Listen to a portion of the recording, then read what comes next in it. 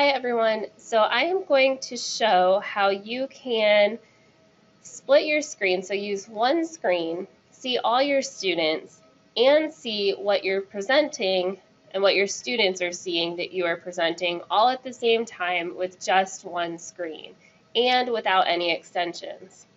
So first thing, if you take a look at this meet, I have two people in um, and we have, if we look up at the number, there are 19 people in.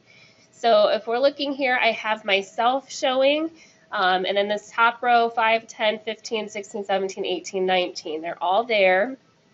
Um, if you don't see yourself, you have this little picture of yourself in the upper right corner.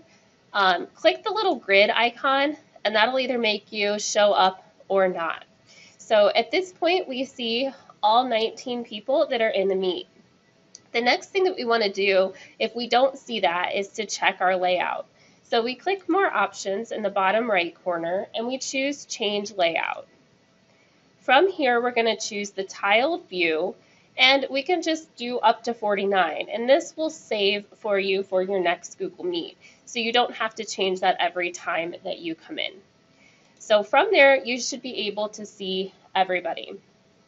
If you do not, the next thing that you can do is zoom in or out. So you can click the three dots in the upper right corner of your Chrome browser and choose to zoom in or zoom out on your screen. For all of this to work, around 67% is what's going to work best for you. Now, I am ready to present my screen. So I want to split my screen in half. Right now I'm on a Windows machine, so I can do Windows and arrow over.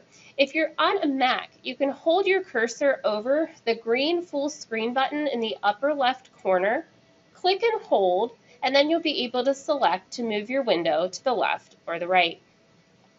Now I'm going to open up a new tab to go to Meet again.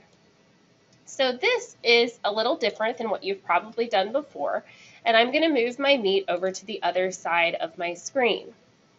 Now I'm going to go to the same meeting. So you'll access the same meeting however you do. If you have a lookup link or a nickname, however you join, do the same thing in this other window. So I'm going to click Join or Start, and I'm going to use my nickname. And from here, you're not going to click the Join Now button like you typically do. What you're going to select is just Present. So I'm going to click Present, and this screen will pop up. Here I can choose a Chrome tab. I can choose my entire screen, which you probably don't want to do if you're splitting your screen like this, or an individual application window. So for this, I'm going to choose just a Chrome tab, but I don't have the tab up quite yet.